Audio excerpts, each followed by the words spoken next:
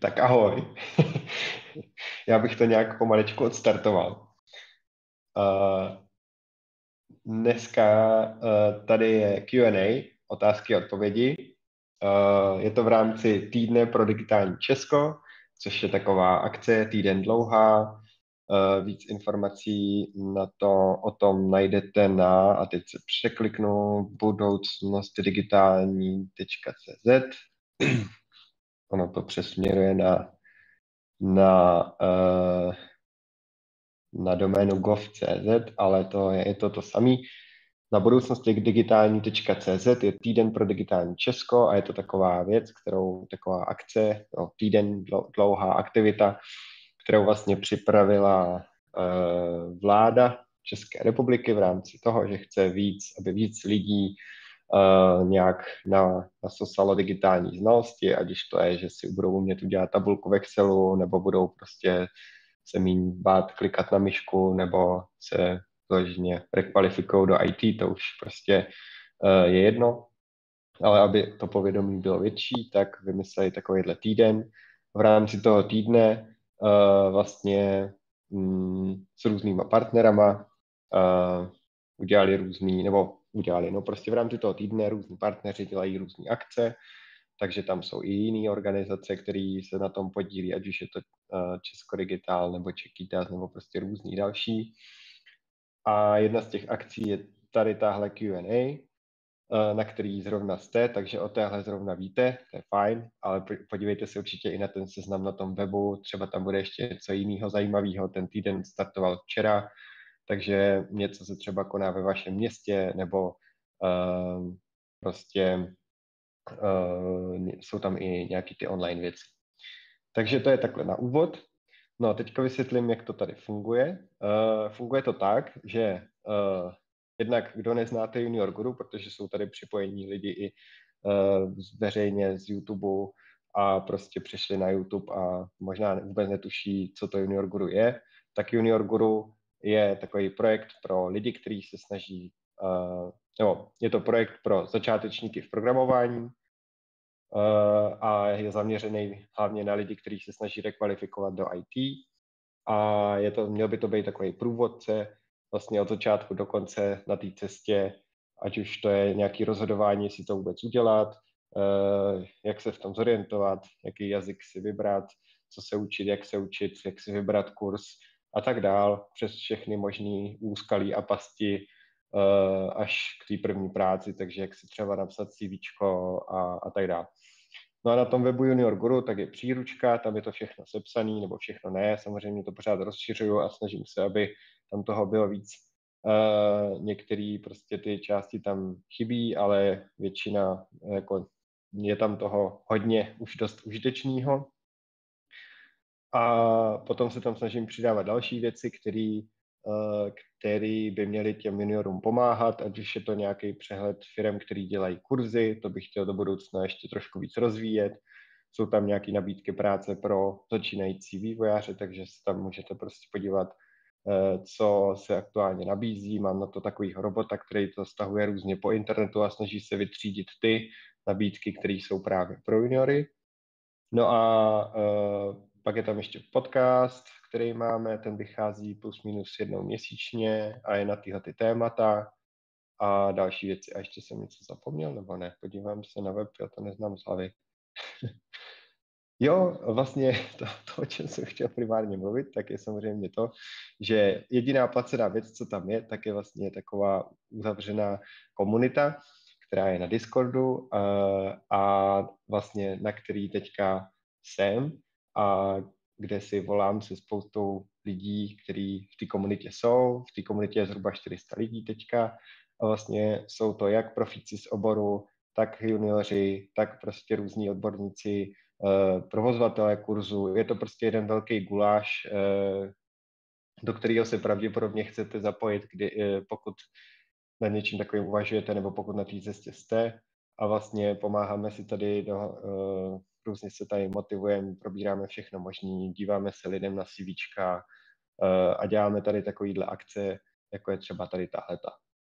Tak uh, ty by vás to zajímalo, tak se podívejte na junior.guru, junior.guru lomeno klub, celou a tam vlastně je k tomu víc informací. Tak to je jenom pro kontext. Takže já jsem tady na Discord, na platformě Discord, na který ten klub, na, na který ta komunita běží. Uh, tady si takhle volám s těma lidma a zároveň to streamujem na YouTube, kde uh, zase to můžou sledovat lidi dneska zrovna výjimečně i veřejně.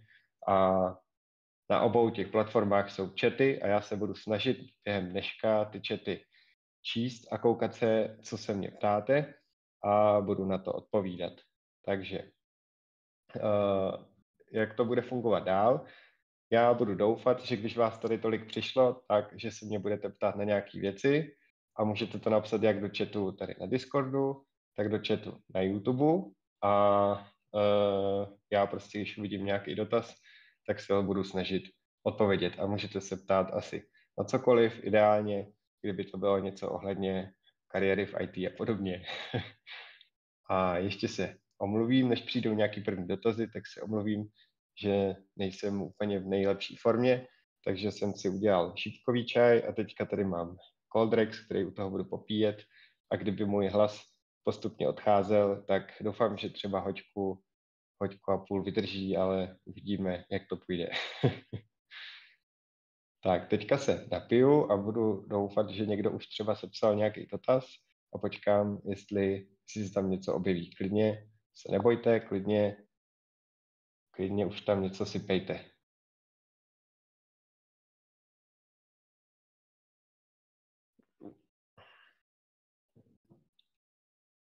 Tak vidím, že už tam někdo něco píše. Na tom Discordu vidím takový to někdo, někdo is typing, takže to je, to je dobrý, tam asi něco přibyde. Na YouTube zatím poslední zpráva je juchu, že všechno funguje, tak doufám, že to funguje i dál. Jinak celé téhle věci bude záznam, který bude veřejně dostupný na YouTube, tam na té samé adrese, na který je teďka stream. Takže pokud máte ně, někoho, kdo se nemohl online připojit a pošle vám dotaz, tak ho můžete položit za něj a pak si to pustí na videu nebo něco takového.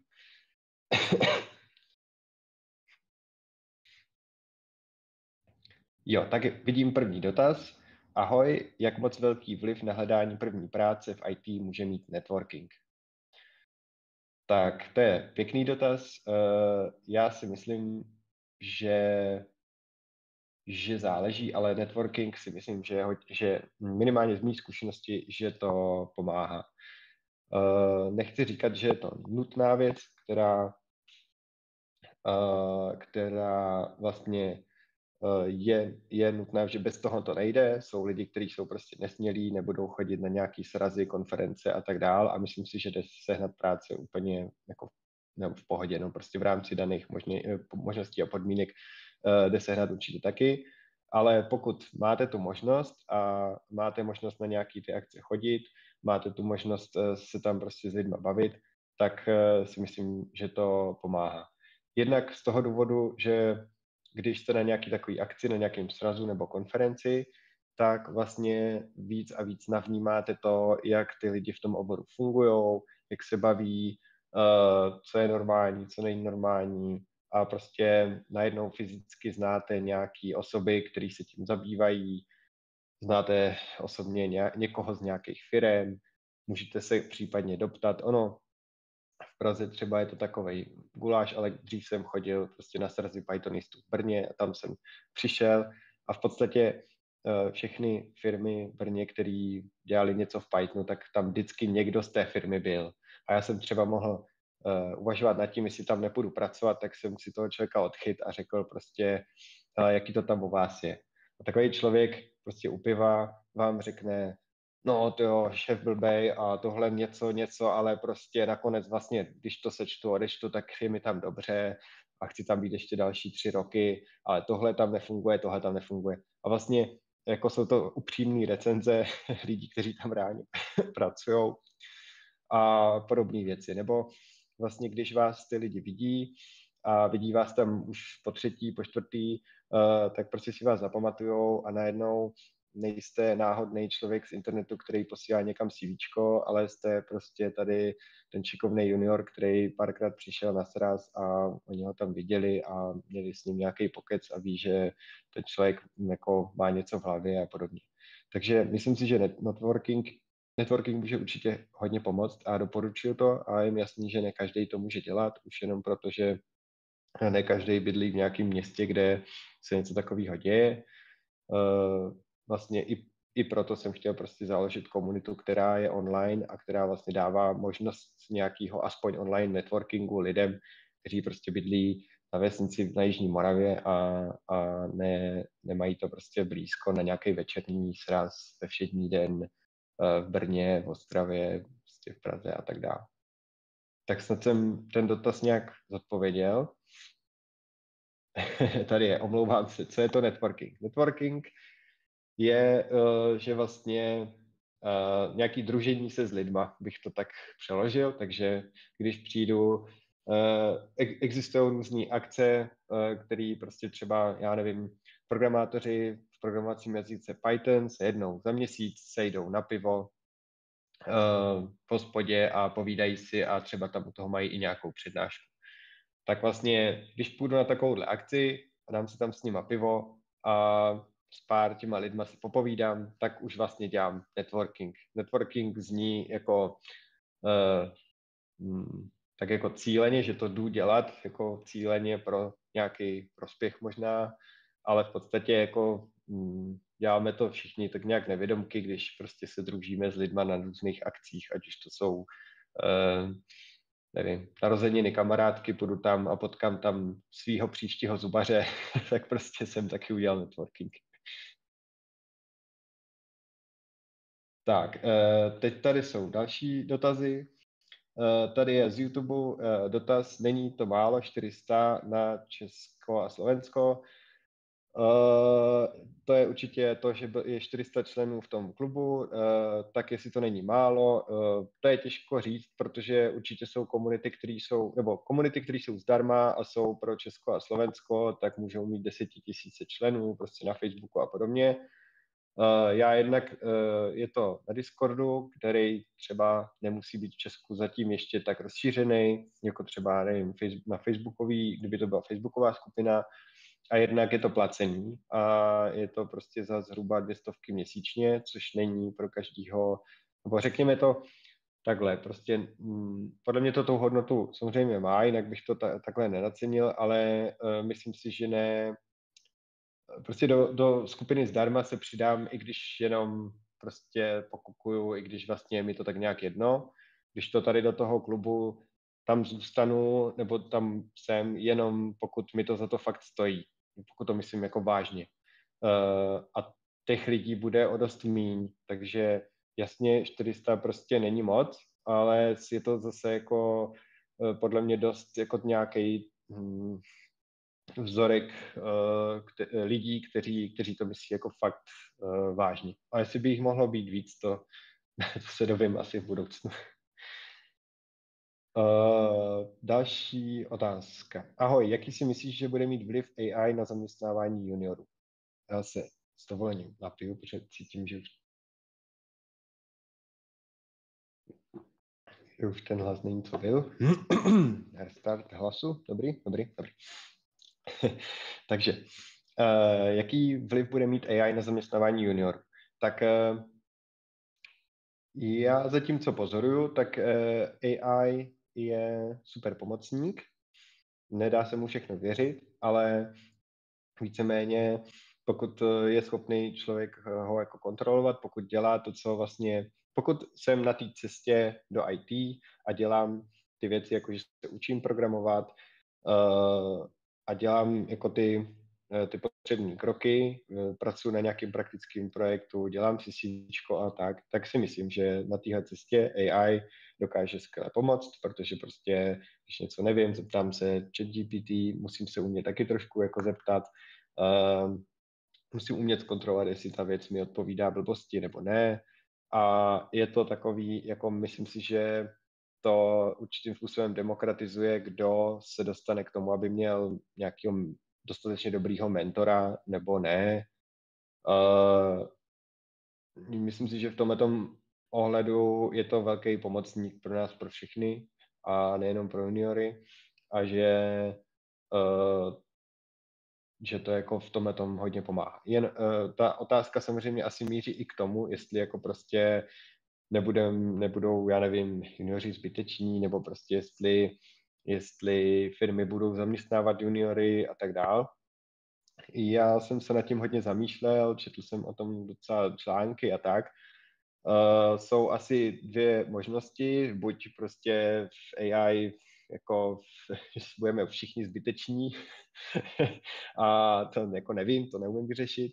Uh, a druhá možnost je, že uh, víceméně já si myslím, že díky AI dokážeme udělat mnohonásobně víc věcí s méně lidmi, ale že historicky to nevedlo k tomu, že jsme jako ty lidi zrušili, ale že jsme se pokusili udělat mnohonásobně víc věcí.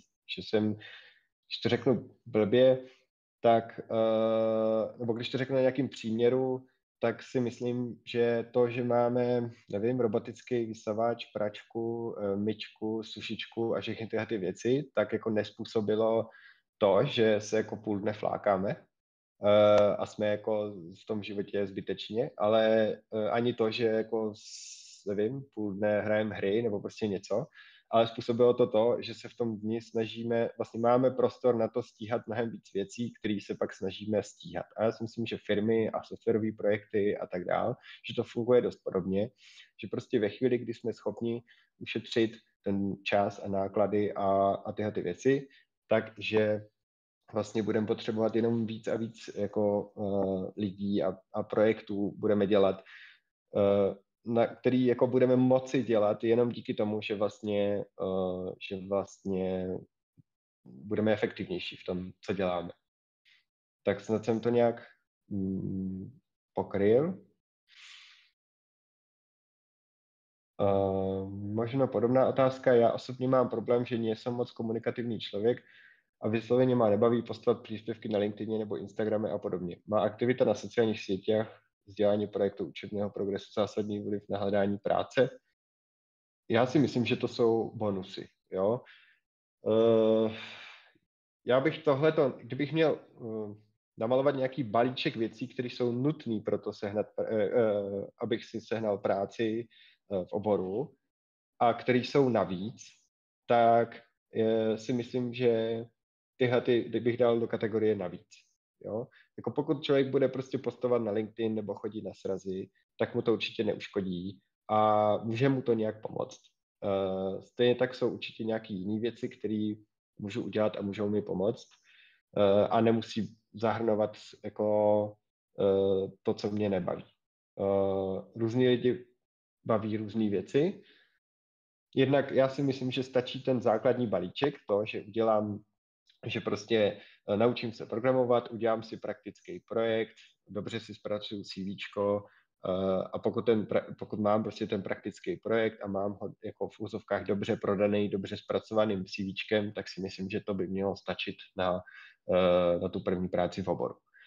Pokud chci udělat něco navíc, pokud to, to, ty bonusy prostě dokážou mi zlepšit situaci, můžou mi pomoct něco vykompenzovat, nevím, jo, ale jsou to prostě bonusy. A ty bonusy můžou být různý a může to být psaní na LinkedIn, může to být uh, nějaký videa na YouTube, může to být uh, chození na srazy, může to být uh, psaní článku na blog, nevím, každý den napíšu čtyři odstavce o tom, co jsem se naučila, taky když to někomu po, po, pošlu, tak to, tak to prostě může být jako zajímavý, může to být, je to, je to něco zapamatovatelného.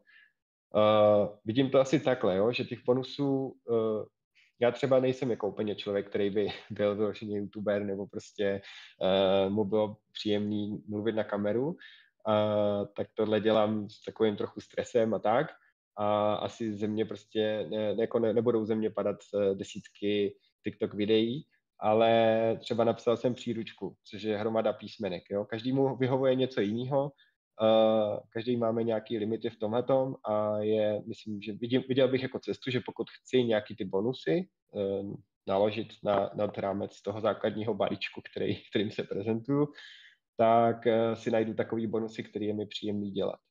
Uh, Takže já tady, tady třeba vykročuju z komfortní zóny a to, co je mi příjemné dělat, je prostě psát, takže psát to píšu a prostě je to v pohodě, to není žádný stres. Takže najít si prostě něco, co, s čím jsem v pohodě a nedělat věci, který, se kterými nejsem v pohodě. Pokud samozřejmě nechci jako vystupovat z komfortní zóny a tak. Tak snad, snad zodpovězený. Kouknu na YouTube, co je tam. Uh, ahoj, uměl bys doporučit, prosím, nějaký systém či cestu, který, jakou si jako junior zvolit technologii či směr. Jde mi o to, že když člověk začíná, tak neví, co ho bude bavit nejvíc. Jo. Nad tím se zkusím zamyslet. Eh, vlastně jde o to, jak vůbec na začátku... Jo. Uh, tak pokud jde o výběr třeba programovacího jazyka, uh, tak tam si myslím, že to není zas až tak úplně důležitý, protože v tom úplném začátku, v tom úplném úplném začátku, tak se člověk učí především programovat. Uh, to je taková jako, takový abstraktní způsob myšlení. V podstatě musím se naučit, jak uh, přeložit nějaký problém do řeči počítačů a ta řeč počítačů je prostě, že tam je nějaká podmínka, cyklus uh, a tyhle ty věci a že vlastně jako umět nějaký velký, velký problém, nějaký velký nějak velký zadání rozsekat na podproblémy, na, na malé jako kousky, na ty kroky a vlastně to z toho celého udělat nějaký recept, který tomu počítači jako předkládám. A myslím si, že tohle je jako gro toho, co se jako učí uh, začátečník, když se učí programovat. A to, že se to učí v nějakém jako jazyku, je prostě protože to jinak nejde, jo. Můžeš si jako ve, ve, ve Scratchi si tam lepit ty puclíky a tam bude prostě, uh, kdo neznáte Scratch.org, tak to je taková, taková malovánka uh, Scratch, myslím, že to je org, to dám do chatu, jo. Uh, dám to tady i na YouTube, i já si myslím, že, že by si to mělo vyzkoušet víc lidí, než to možná zná. Ono to vypadá, že to je pro děti, ono to je pro děti a vůbec, vůbec to nevadí. Kdo si chce vyzkoušet programovat bez programovacího jazyka, eh, tak, tak zkuste Scratch. V podstatě jsou to puclíky a jenom díky tomu, že skládáte puclíky dohromady, tak tvoříte nějaký program, můžete udělat animovaný příběh, eh, můžete udělat něco jako hezkýho.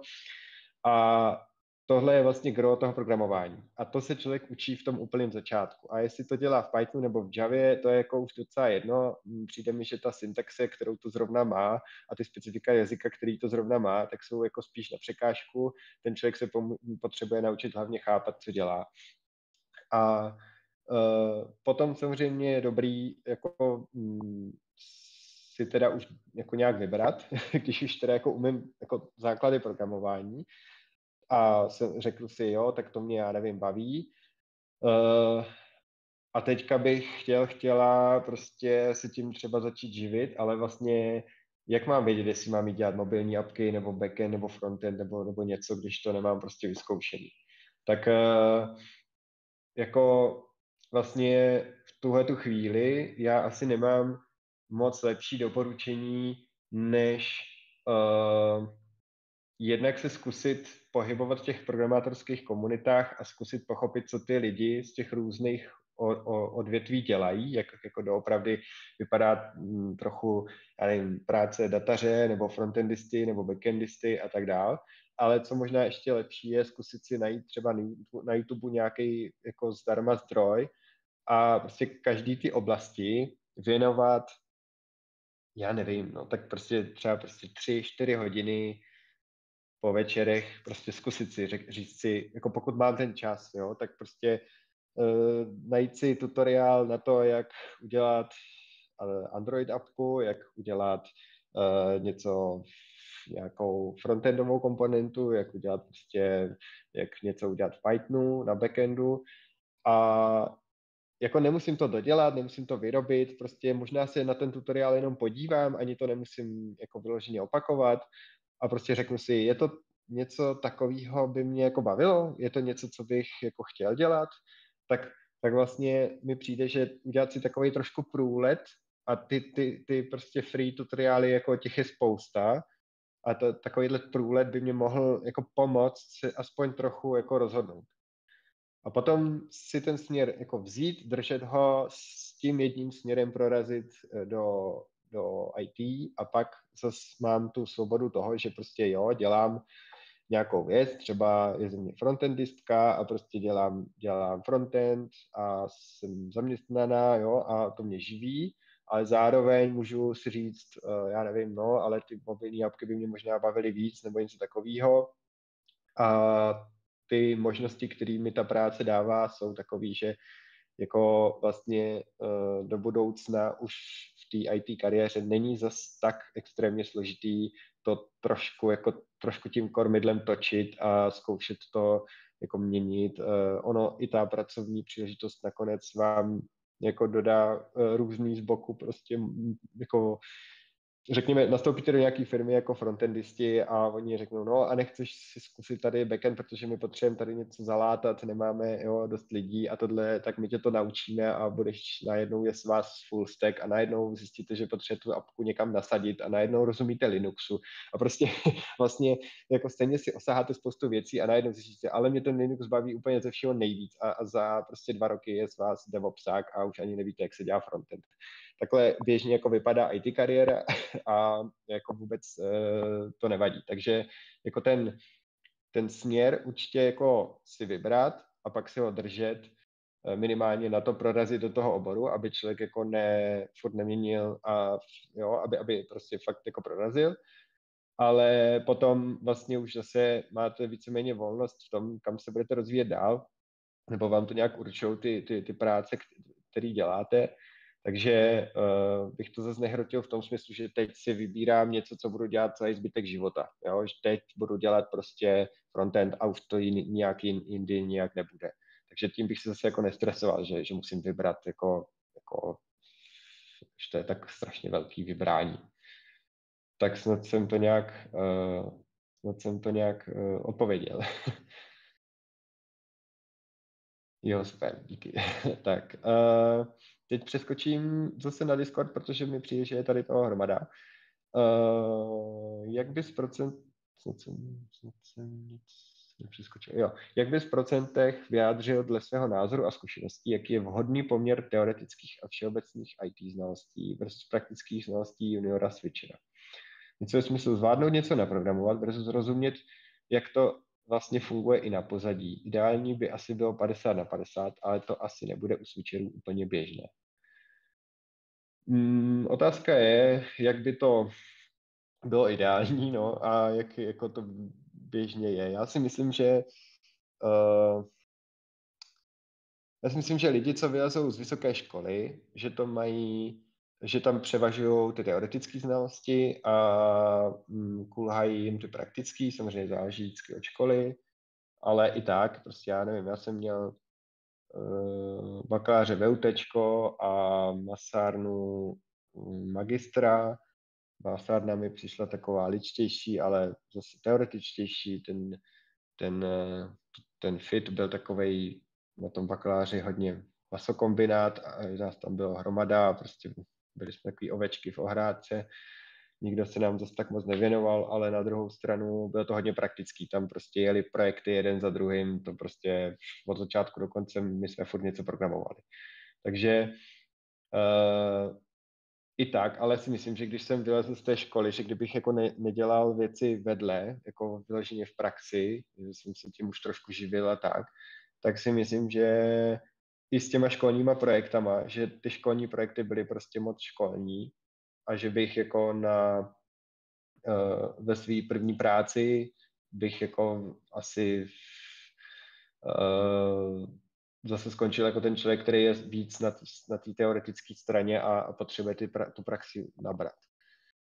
Takže my, pokud můžu z tohohle usuzovat, protože samozřejmě jako to, to moje škola je kdo ví kdy daleko a možná to dneska vypadá jinak, nevím, kolik tady je jako studentů aktuálně vysokých škol uh, eh, IT, možná mě můžete určitě napsat, jak to je teď, jak, jak, to, jak to cítíte, ale um, já si myslím, že prostě vysokoškoláci to budou mít víc nahnutý na tu stranu teorie, a switcheři to budou mít víc na, na, nahnutý na tu stranu praxe, protože switcheři zase jdou prostě po tom výsledku.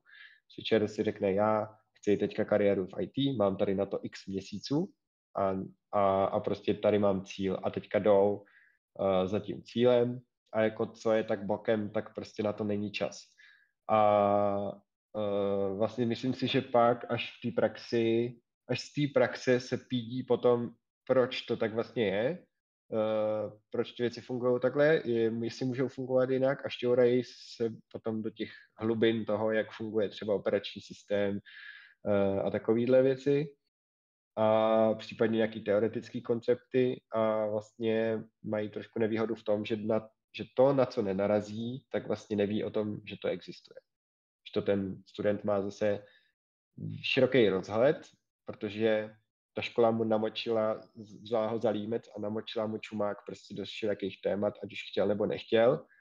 A samozřejmě si je nepamatuje, to všechno je spláchnutý, jako státnice sice hezký, ale jako ale prostě z hlavy nebude jako citovat tam nějaký teorémy a prostě gramatiky, teoretické informatiky, ale ví, že to existuje, takže prostě si řekne, a jo, to vypadá jako něco, co jsem viděl v prváku a prostě udělá čup, čup, čup, čup a jako Google mu to vyhodíš. Jo. Takže jestli to bude umět aplikovat, je druhá věc, ale prostě je to tam, někde to tam v hlubině mozku prostě tam je. Takže spíš pak musí dohnat to, že jako sice zná tady tyhle ty věci, ale, ale zase jako neví, jak má napsat React komponentu. No, tak to je těžký. Takže jo, ideál by bylo 50 na 50 a jako myslím si, že takový lidi by si přál každý. Otázka je taky na jakou práci. Někde prostě, nevím, když sekám jednu React komponentu za druhou, jak moc potřebuji vědět, jak eh, fungují překladače a gramatiky a regulární jazyky a, a tyhle ty věci, nebo nevím, jo, jako uh, každá práce by ten, ty, ty znalosti asi ohodnotí jinak a ten mix bude jako výhodný jinak, jo, takže já nevím, jestli se teda vůbec úplně zobecnit. Ale jak snad jsem to okecal dostatečně, že z toho jako nějaký obrázek trošku uh, bude. No. Nevím, no, když tak mě Berčí napiš, že, že, že jsem řekl spoustu slov a, a vlastně jsem nic neřekl. Tak, další dotaz. Uh, jaké jsou nevýhody začínat jako junior, kterého zajímá programování lomeno IT ve firmě, kde je vývoj softwaru primární biznis a v jiném odvětví? No, uh, co dneska ještě není software?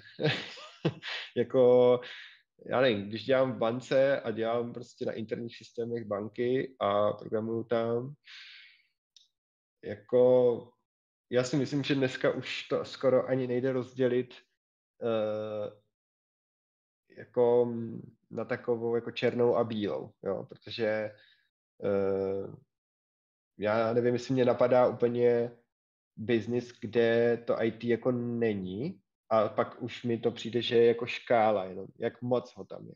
Uh, a jasně něco je asi na nějaký jedné straně, ale já teďka upřímně, já si myslím, že i v tom retailu nebo v té průmyslové výrobě to, to IT prostě je. V té ban- bance je jako stoprocentně tam už jako, když, já nevím, kdo jste kdy byli naposledy na pobočce banky.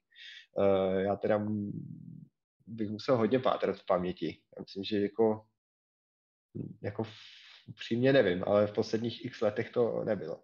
Takže uh, takže toho IT je všude hromada. Je, je jako supermarkety jsou dneska online, uh, Rolík, i Tesco, nevím co všechno.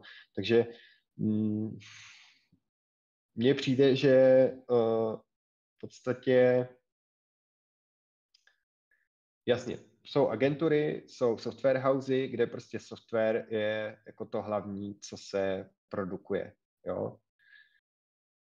Hmm, pak jsou firmy, které jsou, řekněme, produktový. A jestli ten produkt je softwarový, jestli ten produkt je, um, je já nevím, nějaký dobrý, dobrý Hmm, dobrý příklad. Si prostě vytvářím uh, chat GPT nebo, nebo jestli vytvářím rohlík CZ, tak uh, to je potom asi jedno. Uh, ten prostě je to produktová firma, která se chová produktově. Vytváří nějaký produkt pro firmy nebo pro koncové zákazníky, vyšívá na něm vlastně v dlouhodobém horizontu. Asi, asi takhle bych to jako uh, spíš udělal tu dělící čáru. Že prostě i podle mě ta banka a, a uh, jakože to, že, že mají společný, společný vlastnosti. Možná, že ten, to IT oddělení nehraje takovej prim, Uh, ale že tam nejsou ty největší hvězdy, jestli jsou tam největší hvězdy bankéři, jako fakt nevím, no. Ale myslím si, že pro juniora je prostě asi významnější to dělení, jestli je to agentura, anebo jestli je to produktová firma. Prostě produktová firma má produkt, o ten se stará, na tom vyšívá a snaží se, aby, aby vzkvétal, aby vydělával a všechno se točí kolem toho. Tam um, můžou mít víc prostředků a víc možností, jak toho člověka dlouhodobě zaučovat, eh, jak to, ty znalosti se jako kumulujou, eh, může to vést ale k nějaké nudě, protože se prostě naučím určitý technologie a ty technologie potom používám a používám a používám a jsem v nich jako lepší, ale vlastně, vlastně už se pak neučím toho zase tak moc novýho pokud mám hotový nějaký internetový bankovnictví, tak asi jako je udělaný v nějakých technologiích a prostě pokud nezavelí generální ředitel, že si to celý přepíše, tak ty technologie se asi jako většinou nemění, nějaký jako nějak velmi graduálně možná, ale prostě uh, může to vést k tomu, že, že jako vlastně mě to začne už, už uh, jako nudit, jo. Uh, co je zase u těch agentur, tak agentury ty prostě jedou klientům dodávají webíky, eh, projektíky a tak dál a je tam jako projektový management, je to hodně peníze, čas, náklady a tak dál. Jo, je to mnohem drsnější uh, prostředí, takové jako piraně a vlastně uh, zase, ale je to víc takový splachovací, že Eh, jeden projekt, povede se, nepovede se mm, a prostě skončí to, dá se to, někam to odpluje, jo. Eh, vánoční sezóna, doručili jsme to, toto, to, ale už je po ní a zdarec, toho se smaže, to už se nepotřebuje a um, je možný přehodit člověka z jednoho projektu na jiný, jsou tam takový ty rizika, že když prostě agentura nemá práci v důsledku čehokoliv, prostě zbrždění na trhu a tak dál, tak, eh, tak prostě nemá práci, buď musí jako nechat lidi jako ne, na, na, na střídačce nebo, nebo, um, nebo je vyhodí úplně, jo. Takže to jsou asi takovýhle, uh, zase v té agentuře prostě, jo, vyzkouším si čtyři různé frontendové frameworky za půl roku nebo něco takového, Eh, to bych viděl asi jako ty výhody. Asi záží, komu co vyhovuje. No. Já jsem asi byl vždycky víc jako ten, ten člověk, který byl spokojenější v těch produktových eh, firmách anebo v tom, tom produktovém zaměření. Ta agenturní práce mě spíš děsila, ale vím, že jsou lidi, kteří to mají naopak, že prostě ten produkt je pro ně jako, že bych tam jako co rok dělal na stejné věci, to, jako vůbec, jo. Takže asi uh, tak abych to pojal. No.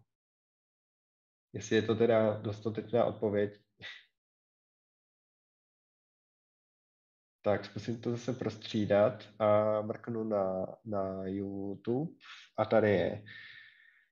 Uh, koho sledovat na sociálních sítích u nás doma v zahraničí nebo doporučit nějaké weby? Ty jo, no, já mám k tomu spoustu poznámek uh, někde v nějakém dokumentu, si vždycky odkládám, pardon, uh, odkládám si koho zajímavého sledovat. Ale jako, že bych to teďka tady vysypal a ještě uh, jako musel bych to asi napsat do toho chatu a někde to tady vyhrabat, tak asi spíš uh, buď mi napiš, uh, no asi mi napiš. já, to, jako já jsem chtěl, aby to, aby na příručce byla taková stránka, kde by tenhle ten seznam byl, uh, protože mi to přijde užitečný, uh, jako určitě jsou v Česku youtubeři nebo prostě jako dobrý zdroje, ať už to jsou jako uh, YouTube videa, newslettery, podcasty, určitě tyhle ty zdroje prostě tady jsou dobrý, ale prostě ta, takhle teďka asi si nemyslím, že je to ta nejlepší forma, jak to jak to podoporučovat, jo, že asi buď vytvořím tu stránku konečně, anebo můžu uh, na přání dát ty poznámky, na základě kterých je chci vytvořit. Tak když se někdo pak připomenete písemnou formou, tak si myslím, že to bude asi uh, lepší, než když bych to tady teďka začal hledat a vyhrávat. Tak další otázka tady je, jak poznám, že jsem ready začít posílat CV. Učím se Python skoro dva roky, poslední rok víc intenzivně. Dodělávám dva projekty v Django a budu portfolio na GitHubu. Můj plán je mít tři až čtyři projekty.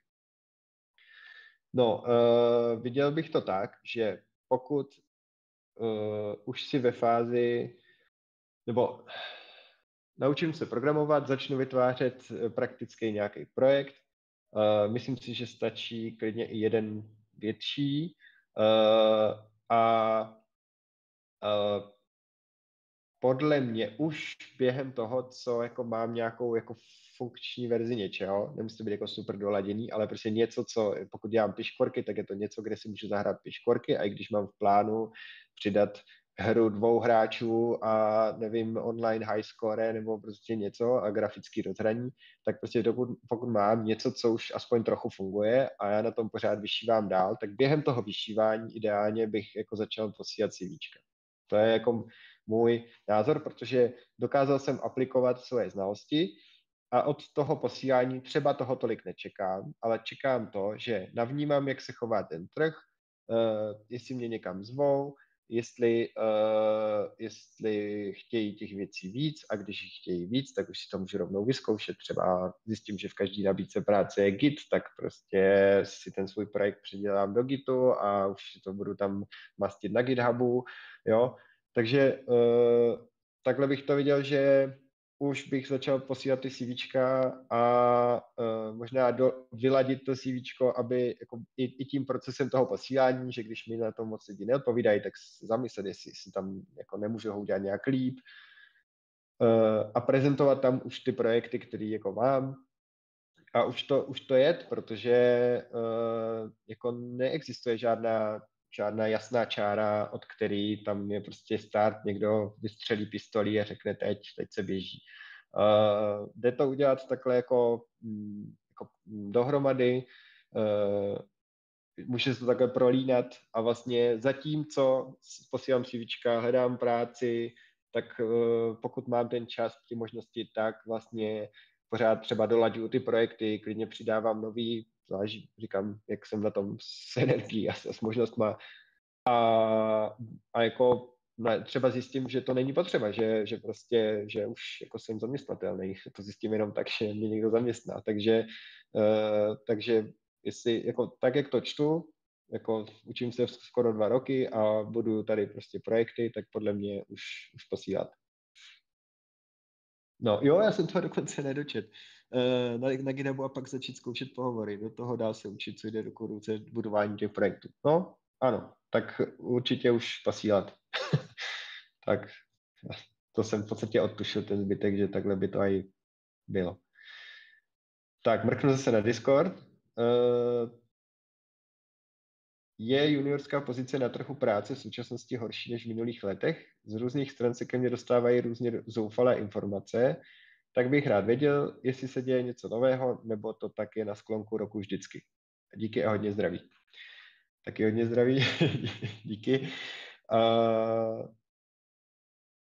co já vím, tak uh, určitě, uh, určitě jsou nějaké sezóny v rámci toho roku, uh, to znamená jak to někdo, já jsem si to někam uh, uložil, protože jsem to v hlavě nikdy neměl tak dobře srovnaný, jak to tady někdo v klubu nedávno napsal. A to bylo něco jako, že, uh, že vlastně uh, je nějaká v létě jsou všichni na dovolené, o Vánocích mají všichni Vánoce a tak dále. A vlastně z toho vyšlo, že jako během toho roku je vhodný hledat práci, nebo, nebo jako samozřejmě můžou vás klidně najmout i během Vánoc, ale ale prostě ta pravděpodobnost stoupá prostě víceméně jako během, nevím, dvou, třech měsíců v roce, jo, což je jako takový smutný, ale je to tak, že prostě uh, o prázdninách ty firmy fungují pomalu, o Vánocích taky a tak dál. Teď je tam ještě ty rozpočty a ty, ty, ty uzávěrky, prostě uh, hiring freezy, prostě ty, ty firmy mají různé svoje tyhle ty cykly a uh,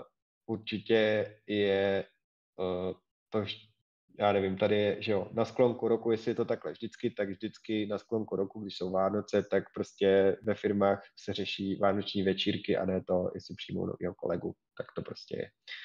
Ale samozřejmě ta situace teďka, jak je jako dlouhodobě, uh, tak uh, určitě není nejšťastnější, protože uh, prostě firmy, investoři a tak dál začali jako být opatrnější a šetřit spolu s tím, jak byla vysoká inflace, jak, uh, jaký jsou úrokové sazby, jak prostě je ta válka na Ukrajině a tak dále. Jsou to nějaké nejistoty.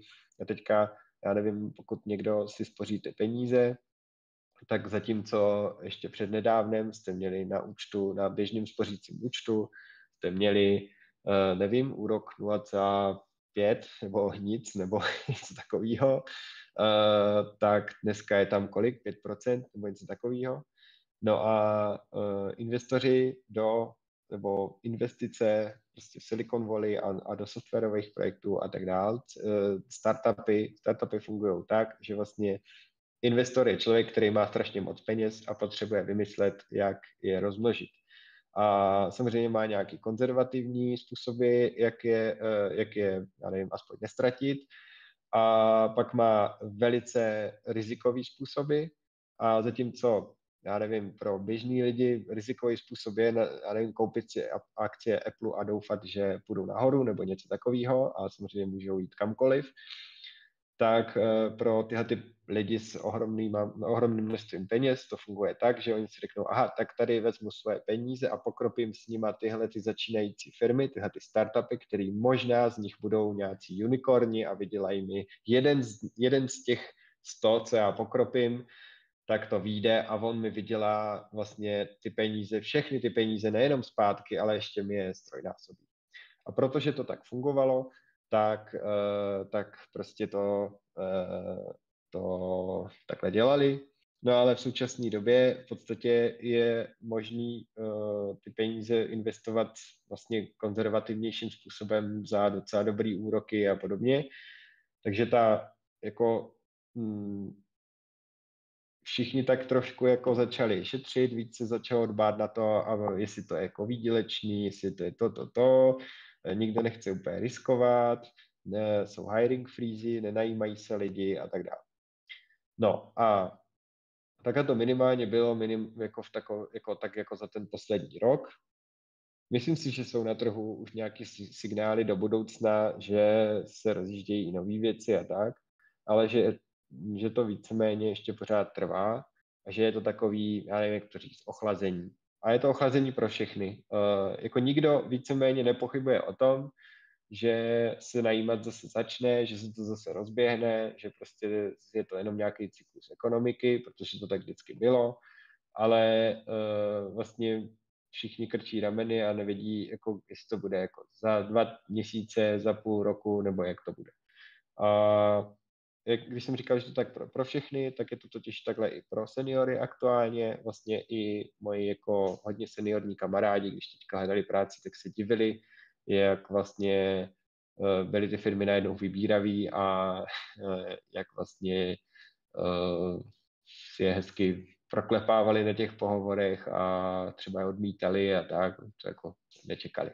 No a Uh, tohle je teďka realita, s kterou musíme existovat a vlastně nedá se s tím nic moc dělat, jenom asi počkat. Kdo může, tak teďka se spíš učí, kdo nemůže, tak prostě posílá si víčka a nedá se nic dělat. Jako pořád jsou jako tady lidi, kteří si normálně našli práci, pořád ten trh je pestrej, pořád ne všechny firmy jsou, já nevím, startupy, pořád prostě ne všechny firmy mají hiring freeze, takže jako najít určitě něco jde, a akorát je to těžší. Takže ty junioři musí být připravenější, uh, musí být prostě asi trochu nabušenější a musí se víc snažit v tom smyslu, že prostě to CVčko, jestli dřív stačilo poslat desetkrát a dneska je potřeba ho poslat 40krát, tak je to prostě ta realita, která teďka je.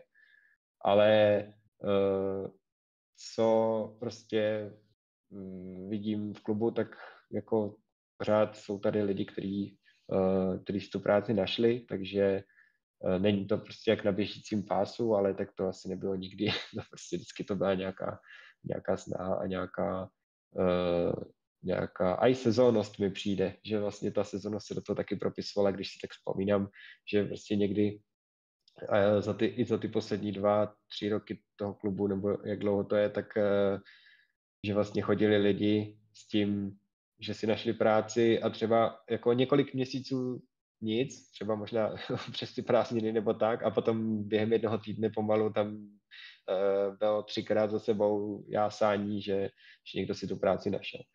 Takže um, jestli to jde úplně vy, vytáhnout na nějakou křivku a to nevím. Uh, já bych se připravil prostě na to, že to nebude jednoduchý, uh, vzal bych si brnění a, a šel do boje s tím, že, že prostě mě, mě udělat nejlepší, co, co jde. Uh, a připravit se na to, že pokud na to mám tři měsíce, tak prostě musím počítat, musím mít plán B, pokud to za ty tři měsíce se nestihne, protože se to může stát to je asi jako, mm, jo, ne, nebýt někde na, na hranici jako svých možností, co se týče tohoto, nemít to postavený tak, že pokud si nenajdu práci prostě do, do měsíce, tak eh, nevím, shoří hypotéka a všechno. Takže spíš to zajistit nějakým konzervativnějším způsobem a radši si to roztáhat na delší dobu eh, a, a počítat s tím, že to může být jako těžký, ale, ale jako vědět, že to prostě jde, ale, ale že to prostě není tak jednoduché, jak to bylo dřív. Což je dobrý vědět i z toho pohledu, že existují nějaký success stories lidí, kteří třeba prošli ten career switch a bylo to prostě před dvěma lety. Jo, takže prostě když si čtu nějaký příběh, tak číst si prostě datum, kdy to bylo, protože jako inspirovat mě to může, ale, ale prostě třeba to nebude teďka tak jednoduchý, jak to, jak to bylo předtím. Tak, mrknu na YouTube. Jo, díky za odpověď. Uh, tak jsem vyčerpal otázky. To není možný. Ještě někdo se chce na něco zeptat? Tak já jdu asi hledat ty typy na, na YouTube. tak já jdu hledat typy na YouTube a budu čekat, že se tam něco objeví. Uh, akorát nemám žádnou žádnou elevator music, takže jedně, že bych si tady něco zpíval.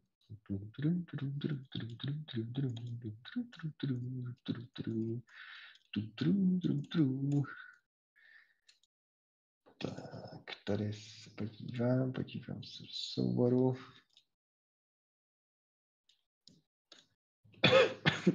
Pardon. A teďka vidět, jak se ten soubor jmenuje.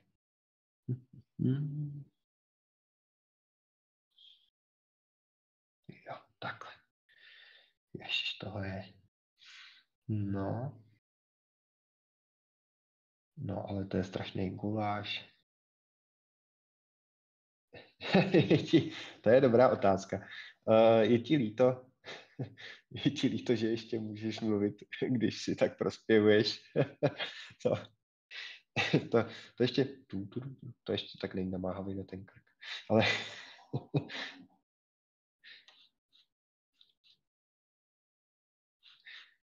tak, co já tady, co já tady mám? Mm, mm. No tak to vám prostě musím poslat. To, tohle je věc, to je velký objev uh, za poslední dobu. To je, já, já to nevím, jak to budu posílat tady do, do dvou četů. Rita Coates, to jako samozřejmě, vám to asi nedá moc uh, informací, ale podle mě je to hodně zábavný. No, potom tady mám nějakou poznámku. Jo, hodně jsem sledoval uh, taky zábavný spíš Fireship, kdo neznáte Fireship, tak Fireship, ale teďka nějak přestal dělat videa, tak nevím, co se s ním stalo. Uh, ale spíš něco, co by vás jako posouvalo dopředu. No tak český, český podcasty zkusím vyjmenovat uh, z hlavy. Uh, tak určitě Junior Guru podcast. Potom uh, program HRování je docela dobrý, uh, mají tam juniory. Um, Restarty dev. Restarty dev. To je taky dobrý. To tam nepíšu, že? Takže program HR ování. Restarty dev. To jsem napsal na YouTube, teď to napíšu zase tady. Mám to psat do oh, nebo?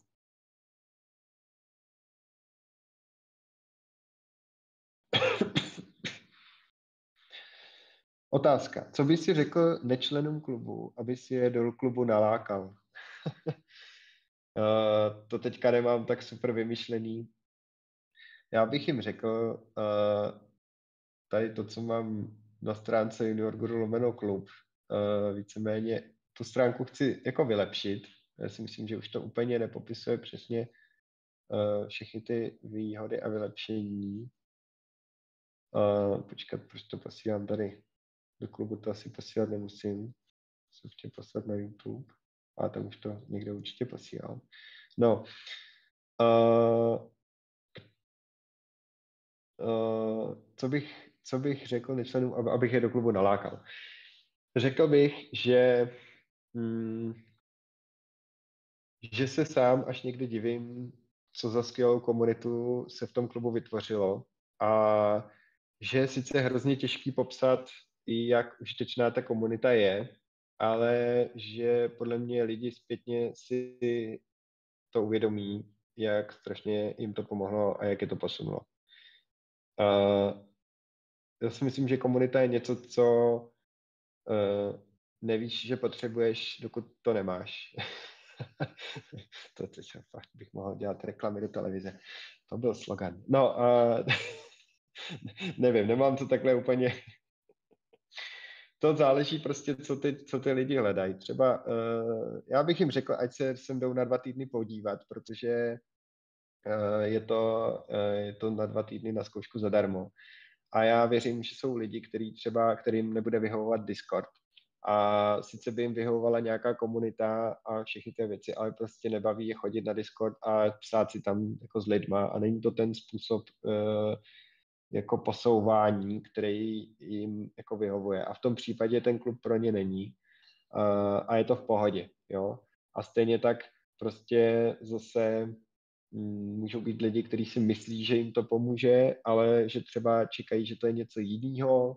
Takže, takže prostě nejlepší je sem přijít, vyzkoušet to, vidět to na vlastní oči, uh, jestli prostě každý v tom může mít trošku jinou hodnotu, jestli je to ten archiv přednášek, který tu je, jestli je to prostě to, že se tady motivujeme, jestli je to Milek a jeho pravidelný uh, pondělní koly uh, a jeho týdenní plánování, jestli je to poradna, kde, kde poradíme, to jsou prostě recenze na kurzy nebo nějaké skupinky.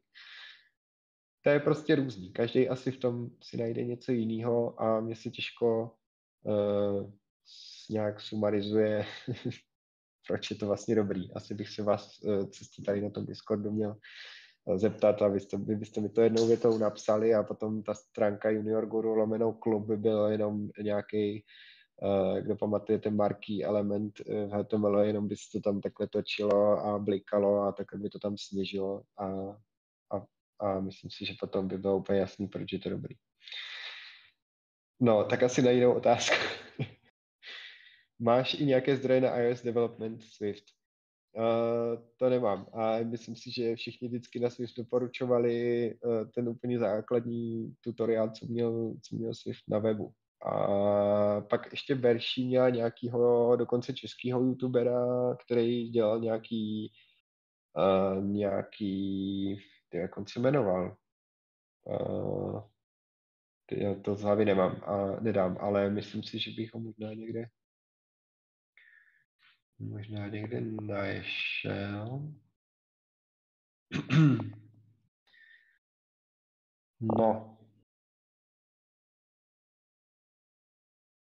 No, no, asi, asi teďka tady ho nenajdu. Ale, ale Berší určitě ví. No, uh, další otázka. Další otázka, mrknu ještě na YouTube, tam nic není. Uh, podívám se.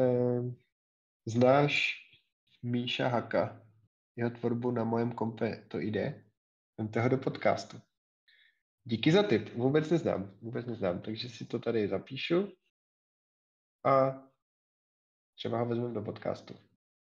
Já podcast, podcast dělá Pája a já ji můžu nenápadně naznačovat, jaký hosti by se mi líbili, ale uh, Pája tam šéfka, takže nemůžu slíbit. toho českého bych už asi nedoporučovala. Tak on hlavně, to už to fakt nevycházely nový videa, myslím.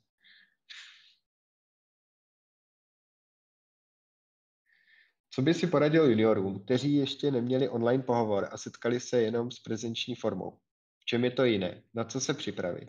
Jak často se může stát, že mě ten online pohovor potká? Mám pocit, že tahle forma začíná být na vzestupu.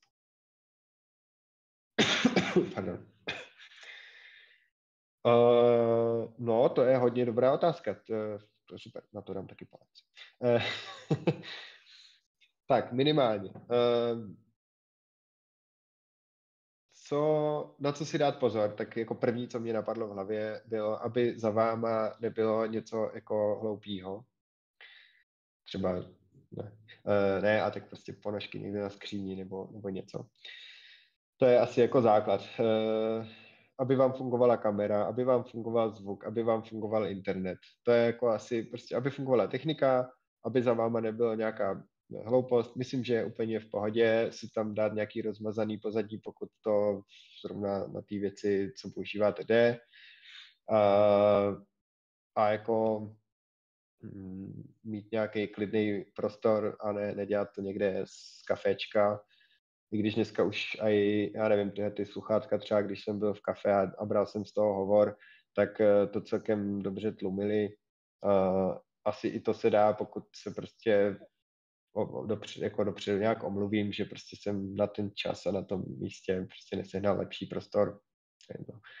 Uh, stačí se asi slušně oblízt uh, od pasu nahoru, každý to známe. Uh, kdo víte, co mám teďka pod stolem, třeba tam mám nějaký strakatý trenírky. Uh, no a to je asi k těm nějakým technikálím. Uh, určitě bych nedělal jako pohovor uh, bez kamery. Myslím si, že už jenom z hlediska toho, že se dělají podvody, takže ty firmy vlastně, vlastně na, si na to dávají pozor, když najímají třeba lidi ze zahraničí a podobně. Normálně se dělají jako pohovorové podvody. Uh, takže a, a myslím si, že je fajn jako mm, prostě mít nějaký aspoň trošku lidský jako dojem z toho člověka, i když je takovej placetej na té na kameře a není to úplně ono. Um, čím je to jiné? No tak uh, je to asi stejně jiné, jako, jako je to jiné teďka koukat na mě a nebýt se mnou prostě na kafe a povídat si u kafe, no. Je to prostě Mm, je to, není to kompletní dojem z toho člověka a mm, je to trochu jiné i v tom, že vlastně člověk si musí dávat hodně velký pozor na ten čas. Prostě, já nevím, já vždycky, když mám kol, tak vím třeba, že je od tří, ale ty minuty vždycky plynou a já najednou zjistím, že už je 14.59 a, a vlastně, vlastně jsem si to už měl radši otevřít nebo něco, nebo, nebo a, a, a pak mi začne blbnout technika nebo, nebo něco, takže je to takové jako vlastně, sice na ten, to osobní schůzku se člověk musí jako dopravit, ale vlastně to uh, ho jako předurčí k tomu, pokud ne, jako nepřijede úplně nějak pozdě, jako předurčí k tomu, aby byl jako včas připravený, aby tam prostě byl, aby tam stepoval u dveří. A to u těch online callů je kdyby odpadá, takže člověk se často nachytá, že najednou to je a najednou vlastně připravený není, protože mu nedošlo, že to není jenom za, za, za, za to tlačítko, ale že to je uh, prostě opravdu nějakých 15 minut předem, kdy je dobrý si to jako nějak poskoušet a nějak se na to připravit. Takže asi tohleto. No a jinak uh, Jinak uh, si myslím, že asi velký další rozdíly jako nejsou. Myslím si, že je to oblíbený proto, uh, že zvlášť pokud to je uh, jako nějaký, většinou ty firmy mají několik kol pohovorů. A ten, to úvodní kolo, kde filtrují třeba ty kandidáty, kde si řeknou úplně základní věci a třeba zjistí, že aha, a tak to možná vlastně nebude pro vás, nebo, nebo něco takového. Nebo zjistí úplně, jo, uh, že si umíš anglicky, nebo, nebo, nebo něco takového, takový nějaký ten screening, tak si myslím, že tohle to, uh, jako aby kvůli tomu třeba člověk jel z Brna do Prahy, uh, to je takový, jo, uh, na nic. Takže um, spousta firm podle mě ten online pohovor jakože minimálně s ním začíná, aby, si už, aby se ušetřili jako náklady na obou stranách a vlastně třeba ty další kola pohovoru jsou už potom třeba, že ten člověk přijde do té kanceláře a nevím, je, je to, já nevím, potom už oběd s týmem nebo, nebo něco takového. Ale, ale na tom, na tom úvodním pohovoru se dá takhle jako vlastně ušetřit, protože je to jako dostatečně dobrý, no. Tak jestli to takhle, uh, takhle stačí, ale mně se ta otázka jako hodně líbí a vlastně by se mi líbilo, kdyby byla položená i v klubu a vlastně vyjádřili se k ní i lidi, kteří třeba to teďka v nedávné době ty pohovory takhle měli a, a nasázeli by tam své zkušenosti. To by bylo super.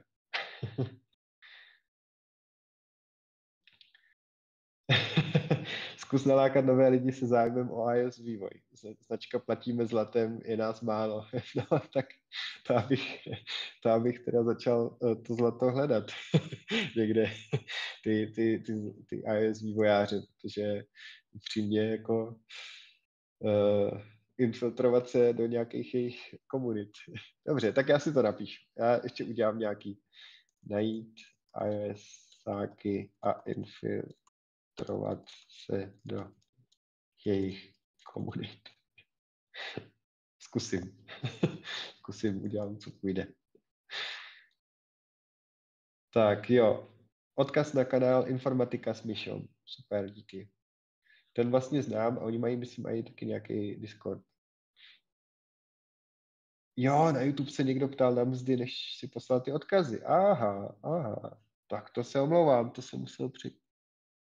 Jo, v jakém rozmezí se nyní pohybují nástupní paty juniorů? No, uh, teď, no, uh, takhle, ještě nedávno, před pár lety, to bylo mezi 30 a 40 a vzhledem k inflaci, která proběhla a vzhledem k tomu, že prostě jako už bylo běžnější, mi přišlo těch 40, tak jsem lidem doporučoval, aby si neříkali méně než 40.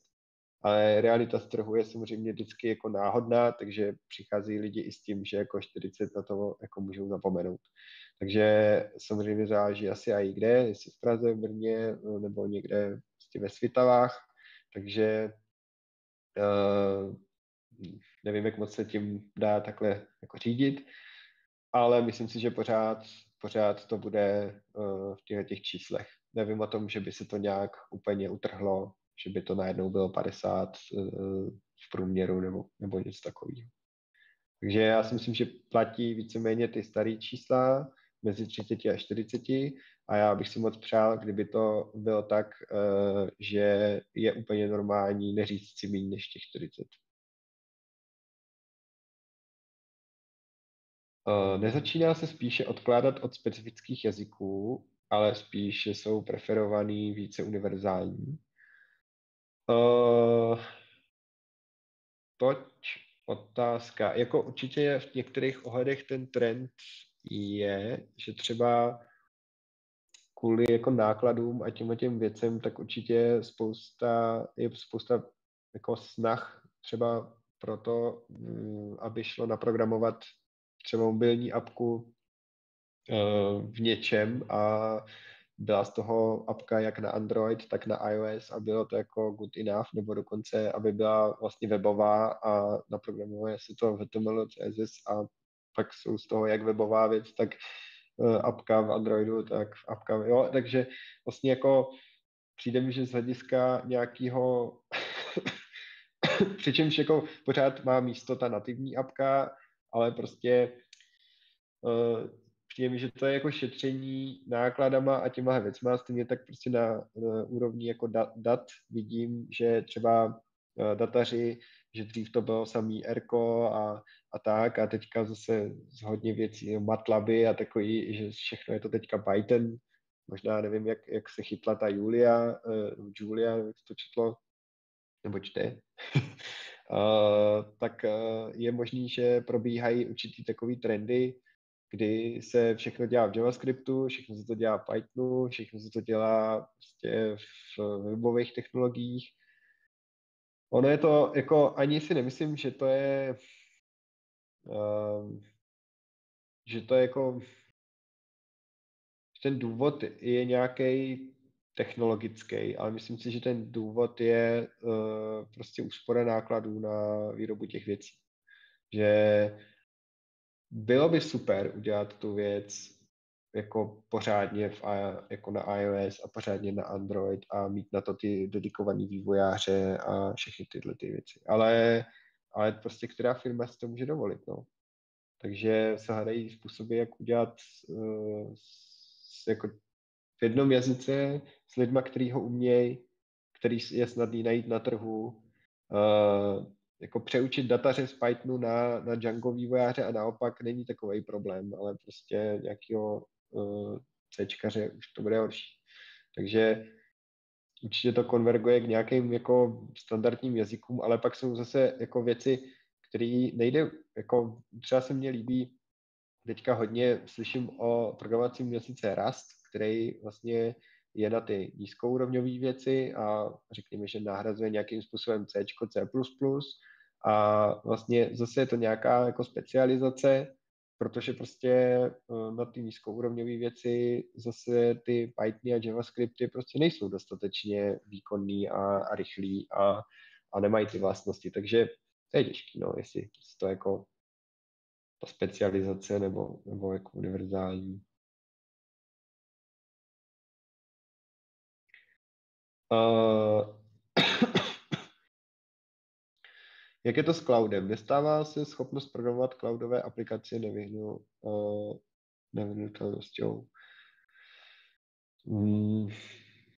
No já to beru jako, jako cloudové aplikace.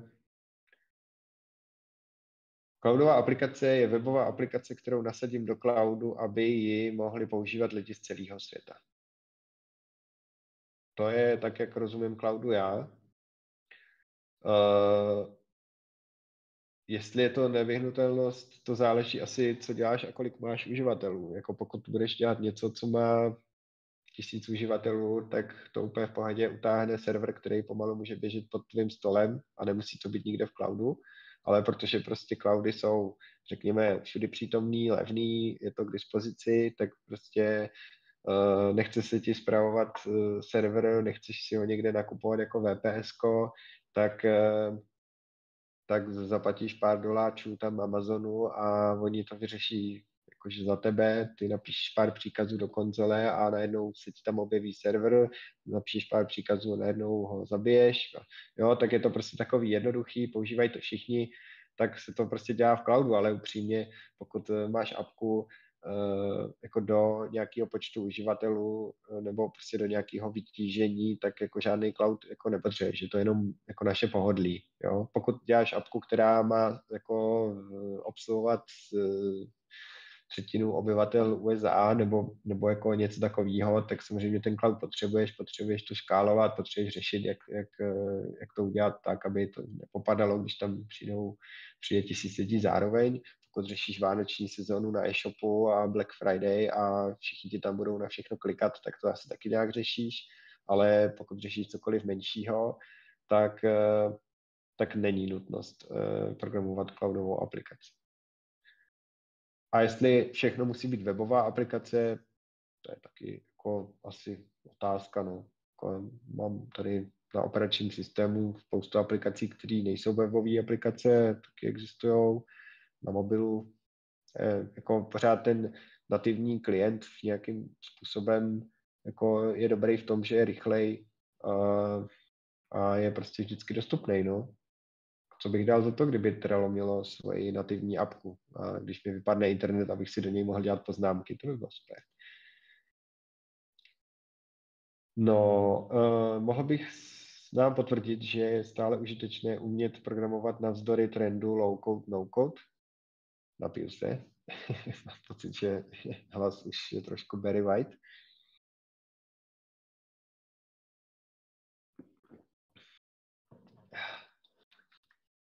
Tak, um, lepší. Low code, no code. No, jako věd, mně přijde, že v nějakou dobu to byl strašný trend.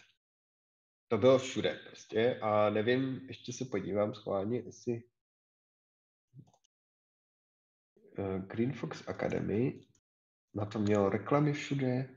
Se schválně podívám, jestli, jestli to tam pořád mají nějaký ty specializované kurzy na low code, no code. Ale upřímně tam teď vidím nějaký spíš AI camp. A nevím, nevím, jestli to tam je. No, uh, nechci jako, uh, nechci to znevažovat, ale přijde mi, že pokud je zrovna nějaký buzzword, tak tam na to mají kurz. Ale, uh, ale chci říct, že v jednu dobu, v jednu dobu uh, prostě bylo všude low code, no code podle mě to nejsou nějaký jako super nový koncepty. Prostě uh, pro některé věci se hodí, když jsou předpřipravené Lego kostičky a jenom spojím dohromady a je z toho hotová věc. Jako, a na některé věci je prostě potřeba custom vývoj. Tak to bylo vždycky v historii a vždycky to tak asi bude. Uh, jako to, co zvládnou kostičky Lega, se posunuje. Prostě já, když jsem začínal, tak jsem dělal webovku nějakému veterináři, nebo jsem dělal webovku nějaký, nevím, restauraci a na tom jsem se učil. A to dneska prostě, nevím, restaurace už skoro nepotřebuje webovku, protože si udělá profil na Instagramu a to jí stačí, jo. Uh, tak to je, to je vyloženě no code, bych řekl.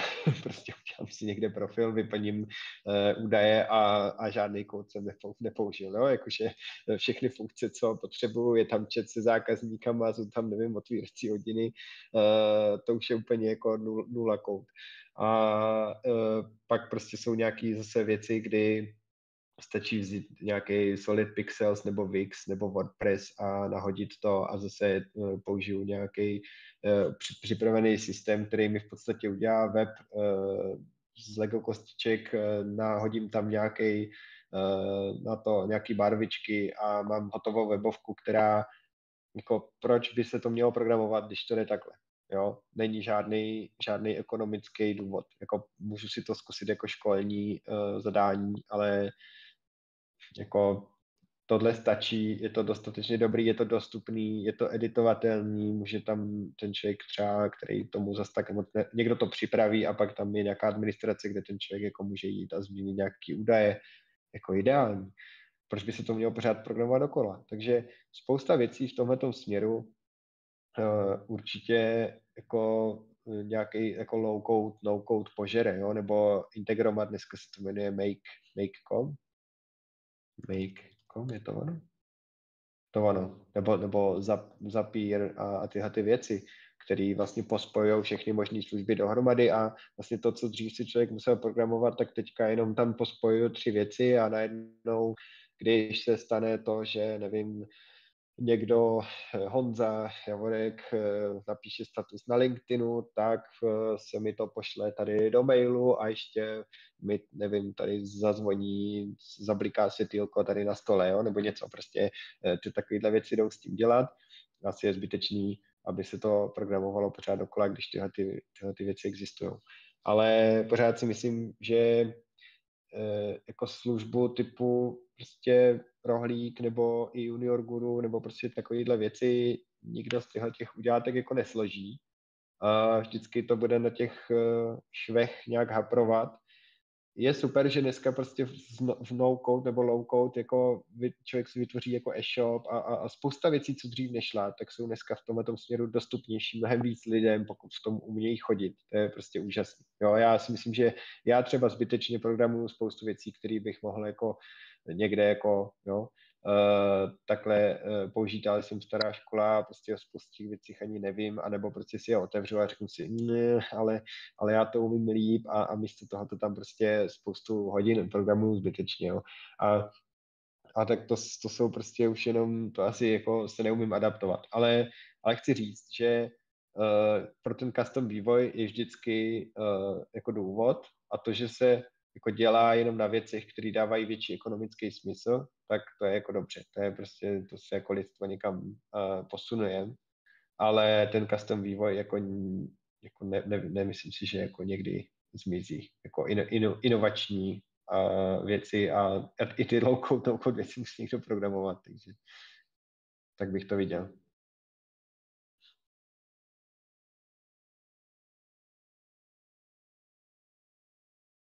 Tak nemám tady uh, další dotaz zatím, tak tam jdu hodit, co tam hodím?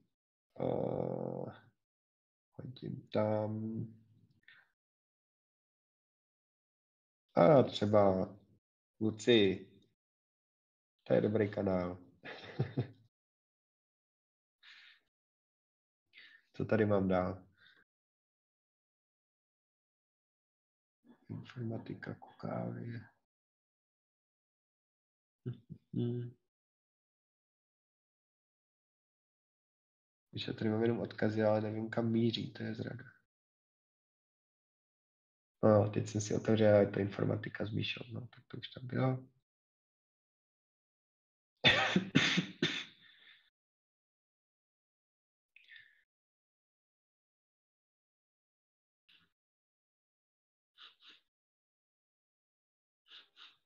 Tak, ještě nějaký dotazy?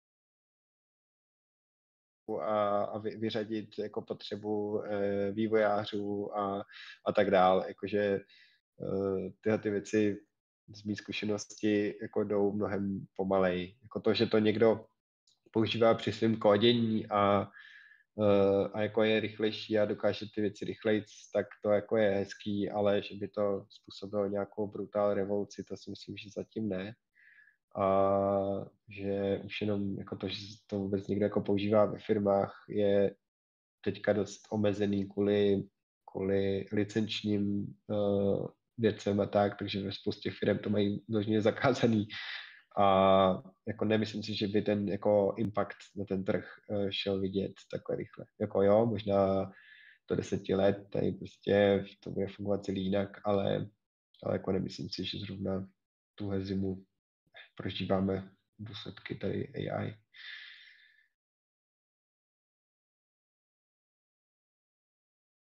Uh, eh, ahoj, jak moc je dle tebe důležitá technická příprava typu lead code a podobně? Dík moc. Uh, já si myslím, že záleží, do jaké firmy se hlásíš. Uh, mm, já osobně lead code nemám moc rád, ale realita je taková, že jsou firmy, které to mají na těch pohovorech a které to jako preferujou. Uh, jsou to většinou větší uh, americké firmy. Vím určitě, že to dělá Pure Storage, vím, že, že to dělají prostě takový ty Google, Facebooky a tyhle ty, uh, a je velmi pravděpodobný, že firmy, které jsou původně z Ameriky, takže si v tom budou, že se v tom budou rochnit. Uh, naopak lokální firmy nebo prostě jako mm, lokální startupy a tak, tak si úplně nemyslím, že tohle je způsob, jakým jako najímají. Možná mě opravíte jako ti, co teďka chodíte po pohovorech, ale nemám takový dojem, že se s tím jako běžně junioři jako na, setkávají jako úplně na běžícím pásu. Že to spíš probíhá takovým způsobem, že na tom pohovoru se probírá prostě, co ten člověk umí, diskutuje se třeba jeho projekt, nebo se, nebo se mu zadá nějaký úkol, ten úkol má zpracovat a pak se diskutuje to řešení toho úkolu, ale že by se tam vzal jako před tabuli a tam by prostě řešil, jako, nebo, nebo za počítač a tam prostě pod nějakým časovým úsekem a tak, by tam řešil nějaký takovýhle hádanky a tak to si nemyslím, že je tady zas tak běžný. A dával bych si právě pozor na třeba, pokud sledujete nějaký jako americký youtubery, který, e, který jako vydávají videa o, o o kariéře v IT a o tom, jak se dostat do oboru a tak, tak je to určitě zajímavý zdroj, ale je dobrý myslet na specifika těch trhů a že prostě v Česku to funguje jinak a často jako kdyby uh, laskavějc. Mně to přijde, že to není takový mlínek na maso. Takže uh, takže takhle, takhle bych to viděl. Takže záleží, jak kam se hlásíš, ale myslím si, že jako v obecnosti, že to není zas tak důležitý. Jako něco tě to procvičí, ale pokud bych si měl vybrat něco na procvičování, tak to už bych třeba dělal Advent of Code, který teďka bude. Pošlu odkaz. Eh, přijde mi to eh, jako vlastně větší zábava a ukázat se to možná ty řešení taky dá někde na pohovor, možná, nevím, jestli jste to někdo zkoušeli. Uh, ono jako jsou to spíš randičky, ale člověka to procvičí. Takže tak bych to tak bych to viděl. Uh, má smysl snažit se začínat jako junior v IT po 40? Uh, no tak to si myslím, že asi smysl má. Uh, viděl jsem v klubu uh, nemálo lidí, kteří po 40 nebo kolem 40 za, začali a jako práci si našli nebo na tom pracují a jako nemyslím si, že to má, že to má nějaký zásadní vliv. Uh, jde to, uh, ono ten, to vnímání si myslím, že se časem posouvá, že dřív prostě všichni, že, že, že určitá generace v Česku nakopla nějaký jako nějaká generace prostě prvotních geeků, kteří se k tomu přitočili prostě, když bylo, když jim bylo 15 a nevím co, no, pak začali prostě mm, programovat a tak. A prostě v jednu dobu většina programátorů na trhu jich bylo, já nevím, 20. Uh, eh, teď si myslím, že jako většině programátorů na trhu bude ke 30 a prostě ještě počkáme 10 let a 40 budou úplně normalizovaní, protože prostě jako ta, ta, ta silná, ta, ta, ty silný ročníky těch, těch, eh, nevím, jak to hloupě říct, prostě prapůvodních programátorů uh, se posouvají taky, uh, protože prostě stárnem. A určitě to má nějaký jako specifika, určitě prostě vždycky člověk musí bojovat s nějakým prvním dojmem, není to asi o moc jiný, než když prostě jako člověk bojuje jako s jakýmkoliv jiným různým znevýhodněním na tom trhu, uh, že jako v podstatě kdokoliv jiný než, uh, nevím, uh, mladý, bílej, brejletý kluk, tak, tak v podstatě vždycky musí těm ostatním dokazovat, že na to nějak má a, uh, a že, že za to stojí, což je jako smutný, ale chci říct, že nemyslím si, že to stáří uh, je jako uh, něčem jako jiný. Co může být uh, nějaká, nějaký handicap je, že třeba se budu hlásit do firmy, kde je důležitá angličtina, já ji třeba nebudu dobře umět, ale to prostě jako um, myslím, že u dnešních čtyřicátníků je taky různý a není paušálně, nejde, nedá se paušálně říct, že kdo komu je 40, tak ne, neumí anglicky dobře, to asi to asi se nedá říct. Takže, takže nevidím v tom nějaký zásadní, zásadní problém. A ptá se na to hodně lidí a uh, je to vlastně vtipný, jak vždycky přijde do klubu nějaký nový člověk a napíše, napíše, uh, no já už jsem starý, je mi, nevím, 38 a prostě v, v, už, už jako nevím, jestli to má smysl a, a, a sypou se na něho jako členové, uh, kterým je přes 40 a, a říkají, o, ty jsi starý, já ti dám, tak to tady uděláme tady klub, klub důchodců, nebo jakože prostě srandičky, no, ale jako uh, asi bych, asi bych uh, se tím netrápil tak moc. Uh, jo, tady píše Marcel. Je mi 48 a do důchodu to je furt skoro 20 let. Za mě to smysl má. Přesně tak. No, jinak uh, zmiňoval jsem tady Advent of Code. Teď zase jsem bez otázek, takže kdo máte otázku, tak pište. Já mezi tím uh, udělám reklamu na Advent of Code, tak to je taková mezinárodní, mezinárodní srandička na adventofcode.com Uh, vlastně dělají se tam uh, vždycky na prosinec, uh, na, na čas adventu 24, myslím, to je těch dní. Uh, každý den je tam nějaká hádanka nebo problém k vyřešení. A vlastně kdokoliv s jakýmkoliv programovacím jazykem může přijít a zkusit si to vyřešit. Většinou jsou tam dvě denně, jedna je taková přímočará a ta druhá je z té první nějak vychází a, a většinou ji zamotá takovým nějakým složitějším způsobem. a, a je to hlavně sranda, pokud to děláte eh, s kamarádama ve víc lidech, tak prostě se můžete u toho trošku hecovat, pomáhat si a, a je to takový na hlavu, na bednu. Eh, pokud umíte jako základy programování, tak většinou by vám to mělo stačit k tomu, abyste ty úlohy vyřešili, i když je asi třeba nevyřešíte nejrychleji, jak to jde, nebo, nebo něco takového.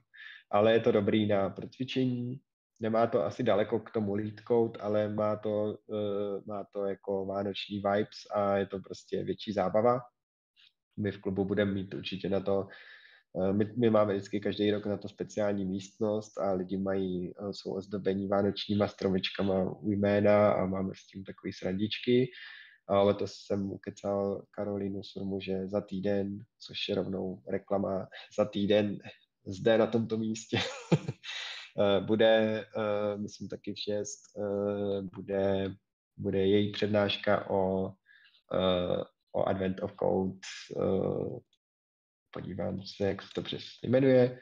A jmenuje se to Úvod do Advent of Code a přátelský pokec u kaká. Takže tím, tím to by mělo být takové navnadění na vánoční, vánoční uh, atmosféru a kdo jste v klubu, tak určitě uh, mrkněte do Advent of Code organizace Vlákna a Advent of Code. Potom tam je připravený na, tom, na to takový fórum.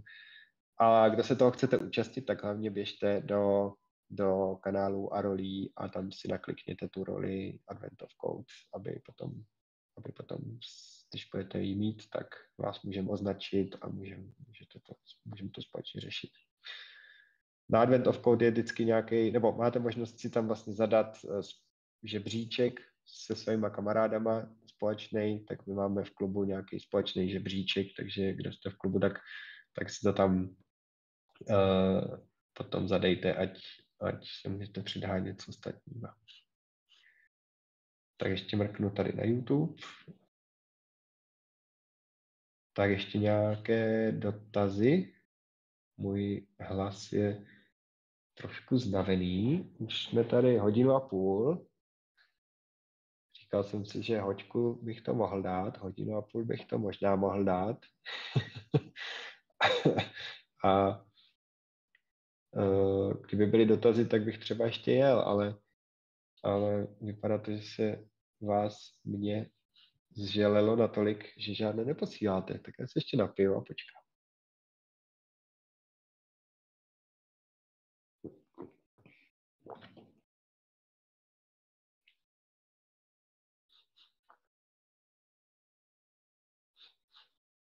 Tak, tak vidím ještě Filip.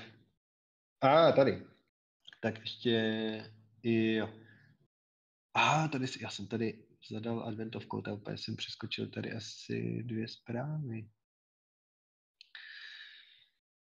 Jo, tak tady je, jakou roli u juniorů hraje věk, tak to jsem, to jsem víceméně odpověděl. Uh, co vidíš jako red flag u firem, na co si dát pozor? To je velký téma. to je velký téma, ani nevím, odkud bych začal. Uh, no,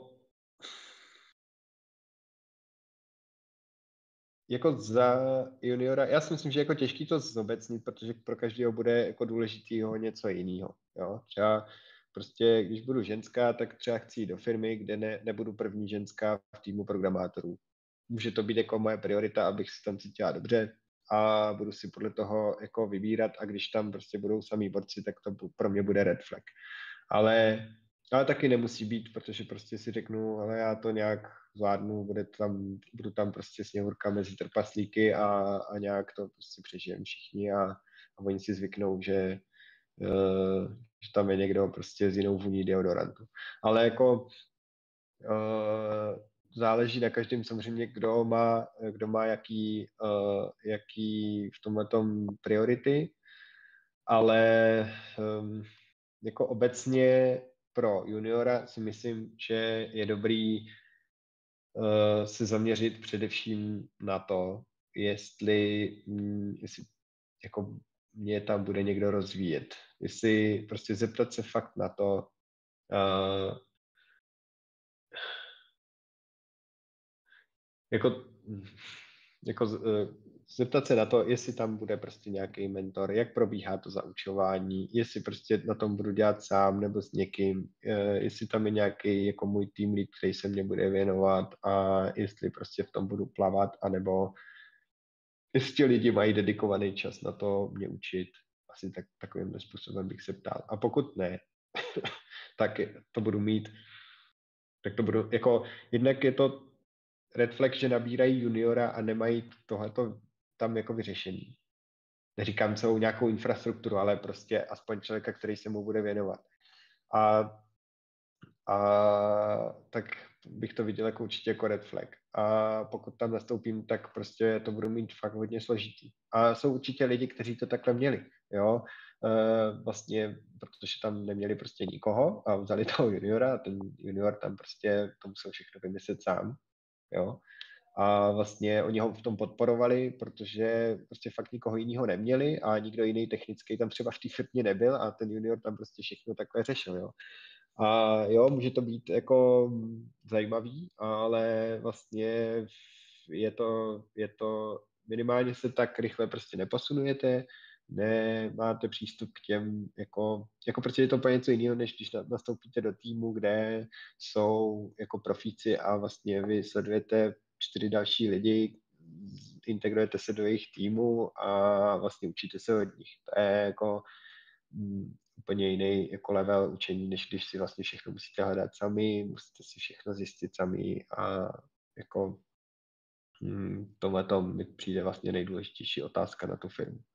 No a pak jsou samozřejmě všelijaký red flags, jako já nevím, najmeme tě, ale jenom když půjdeš na IČO, protože je to prostě pro všechny výhodnější a já nevím, eh, naše sekretářka ti zařídí živnosták, jo, prostě jako, to jsou takový, uh, já neříkám, že jako mám něco vyloženě proti práci na IČO, ale to jsou prostě takové věci, jako um, který bych asi neudělal jenom proto, abych získal tu první práci. Prostě uh, jako nenechat se navést prostě do nějakých vyložených ekonomických nejistot, kdy prostě jako nejdřív v té firmě musím nějak věřit, potom můžu, jo a teď, teď ještě prostě uh, jo, prostě nějaký jako uh, ekonomický levárny různý a prostě zacházení s lidma, jo, tam těch red flagů to může být jako tolik.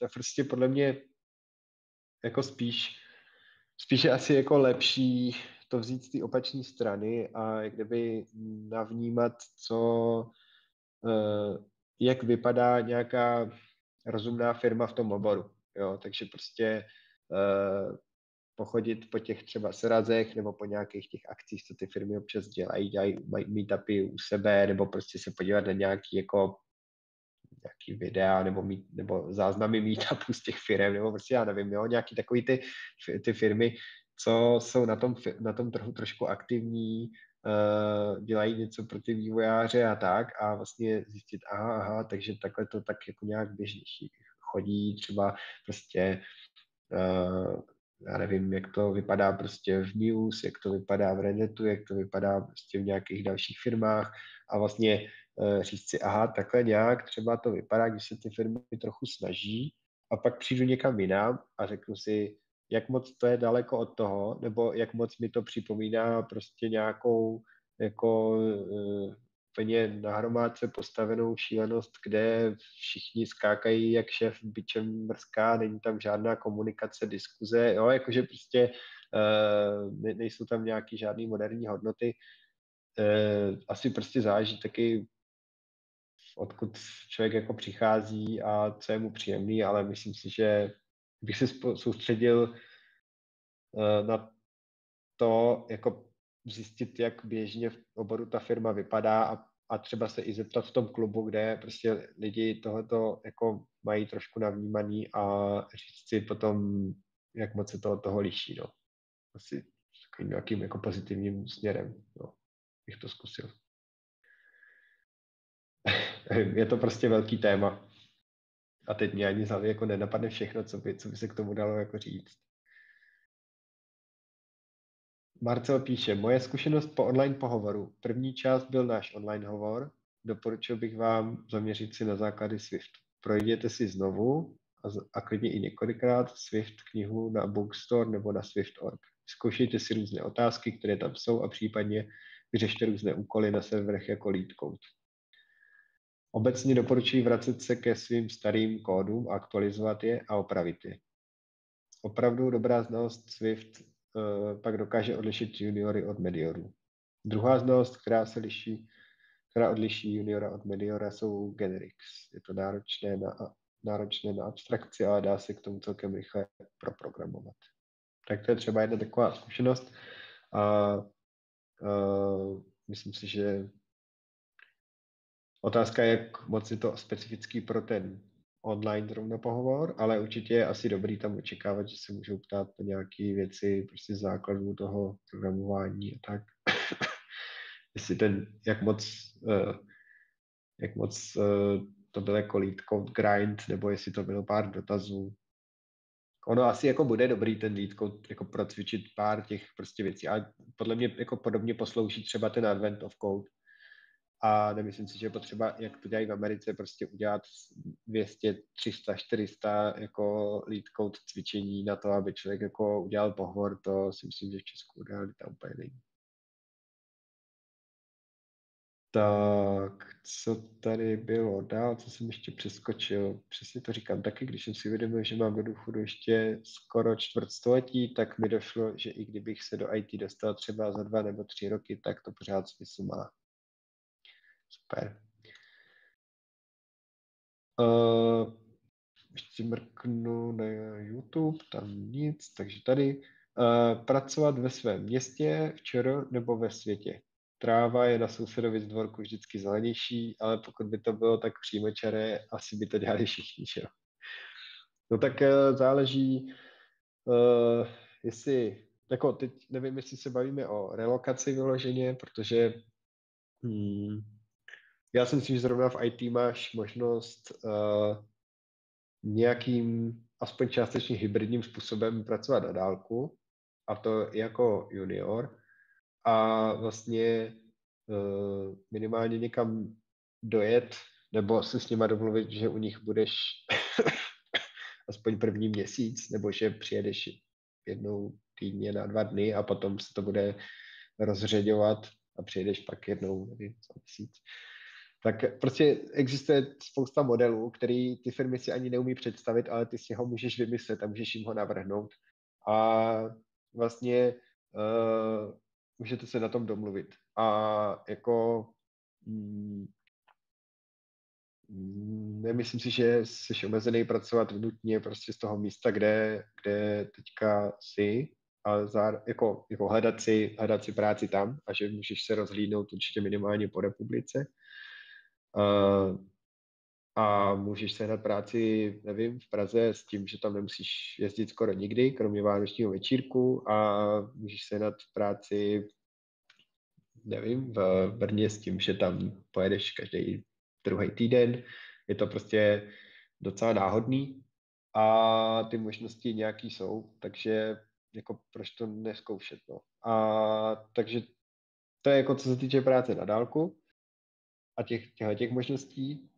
Uh, no a co se týče nějaký jako relokace, tak to je asi o tom, mm, co si od toho slibuješ, no. Jestli si chceš jako podívat do Barcelony a chceš tam dva roky žít, tak asi uh, proč ne, jako nevím, kolik tam je IT firm zrovna tam, možná jo, ale nebo v Londýně, nebo někde. Uh, v těch místech je to um, podle mě jako víc konkurence na tom trhu, takže jako jako junior podle mě to tam má člověk spíš těžší. Uh, ještě samozřejmě další bariéry jako vytržení z nějakého jako kontextu kulturního, jazyk a podobně. Uh, neříkám, že to není možný, ale neočekával bych, že to bude jednodušší než tady. Uh, spíš bych si představoval, že jednodušší cesta bude najít si tu první práci a podobně jako tady, na bušice a časem třeba si najít práci zahraničí už jako nevím, mediornější, seniornější člověk. To mi přijde docela jako datelný uh, a, a není to zas až tak jako neběžný. uh, jako v Česku je spousta lidí, kteří dělají pro zahraniční firmy a hm, samozřejmě je to i příjemný, když člověk pracuje nevím, z Brna za nějaký mnichovský nebo, nebo londýnský peníze a utrácí je v Brně. Tak to je taky dobrý. Ale viděl bych to spíš jako na, to, na nějaký pozdější cíl v té kariéře, než jako něco, co by se povedlo, když je člověk junior. No a jestli je stráva zelenější, no tak to, to asi záleží, jak moc um, jako třeba když budu bydlet v Londýně a brát tam nějaký, uh, nějakou mzdu jako, jako junior v Londýně, tak možná budu rád, že budu mít na nájem v nějakém jako sdíleném pokoji někde v pátém pásmu MHD londýnský, jo. Uh, je to takový těžký, no. My jsme, dělal jsem pro startup uh, v Epieri a vlastně tam jsme jako věděli, že Měli jsme, měli jsme americký zaměstnance a měli jsme český zaměstnance v Praze. A vlastně věděli jsme, že ti američani mají třikrát víc peněz než my, uh, ale když jsme to propočítali na jejich životní úroveň, tak San Francisku uh, s jejich jako dojížděním, kolik si za to mohli koupit věcí, nebo prostě kolik jim zbylo na, na život, co si mohli zaplatit za, za jako ubytování a podobně, tak vlastně nám přišlo, že si žijeme jako králové s tím třikrát menším, s, tím, s, tím, s tou třikrát menším mzdou, protože vlastně to, co jsme si za ní, to, to, co nám z ní reálně zbylo a to, co jsme si za ní reálně mohli pořídit uh, v Praze a jaký jistoty jsme měli, třeba zdravotnictví, pojištění a podobné jako vymoženosti, které v Americe jsou dost složitý, tak uh, nám přišlo až neuvěřitelný, jako o, že jsme se měli vlastně jako líp i když oni měli třikrát tolik. Takže uh, to je těžké někdy přepočítávat uh, trávu zelenější na, na prostý čísla. No. Uh, není to nikdy tak jednoduchý. Tak snad jsem to nějak, snad jsem to nějak odpověděl komplexně.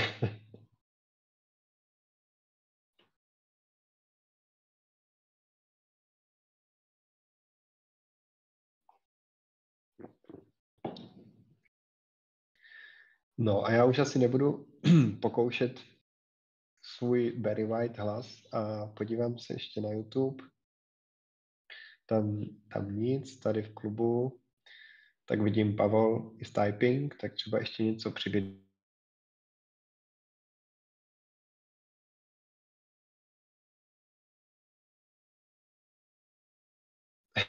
to je skvělý zakončení. No a já doufám, že se, vám to, že se vám to líbilo, že jsem dokázal nějaké otázky zodpovědět a samozřejmě platí, že uh, mě můžete se zeptat přesně na takovéhle věci úplně kdykoliv a v jakýkoliv tady místnosti v klubu, třeba no, Pockets uh, o IT nebo kdekoliv, musíte to moc promýšlet.